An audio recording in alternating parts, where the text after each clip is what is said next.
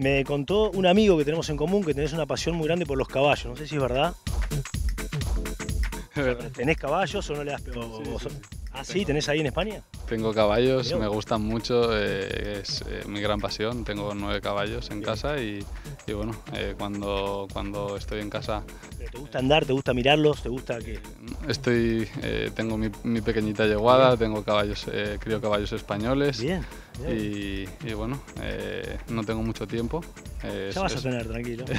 Algún día, cuando crezcas y dejes este lindo deporte, vas a tener tiempo. Es una afición que, Sí. que necesita mucha dedicación, que hay que estar mucho, muy encima de los animales. Eh, son animales muy delicados que, que- que necesitan eh, de estar 24 horas con mucho cuidado y, y bueno, es mi gran pasión y ahora cuando, cuando tengo apenas tiempo libre eh, lo paso con ellos. Eh, pará, ¿el polo te gusta?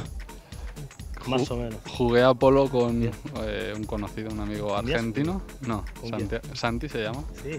en Dubai y el año pasado gané Dubai y me quedé un par de días por allí y tuve la suerte de jugar a polo. Bueno, mañana, eh, mañana viernes, que vos vas a competir acá y Diego Sherman va a competir, va a venir el señor Cambiaso a ver el partido, que es el mejor jugador de polo del mundo en los últimos 10 años, así que ya que sos un fanático, me encantaría presentártelo porque es un gran amante del tenis, seguramente te conoces, es amigo de muchos tenistas, y mañana va a venir a ver los partidos, le voy a decir que te venga a ver a vos, así que me imagino que va a ser un privilegio. Claro, yo encantado de conocerle. Tuve el placer de jugar a polo, me parece un deporte dificilísimo. Increíble. No le podía pegar a la bola, así aún, pero de Sí, revés sí. era imposible. Imposible. Prácticamente el imposible. hombro así directamente. Y, y bueno, les admiro mucho y, y estaría encantado de conocerle. Bueno, gracias Roberto, obviamente para usar de Ball, Roberto Bautista, uno de los mejores jugadores de España y del mundo, y te deseamos lo mejor y que este año termines y que te cases y seas muy feliz. Muchas gracias.